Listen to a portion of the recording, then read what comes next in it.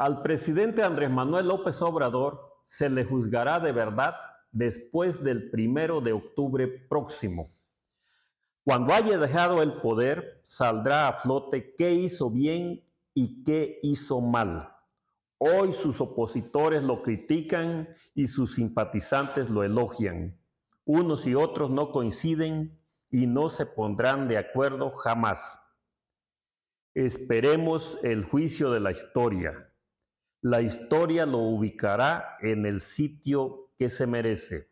¿Usted considera que ha sido un gran presidente o un mal presidente? Saludos de Pepe Valencia.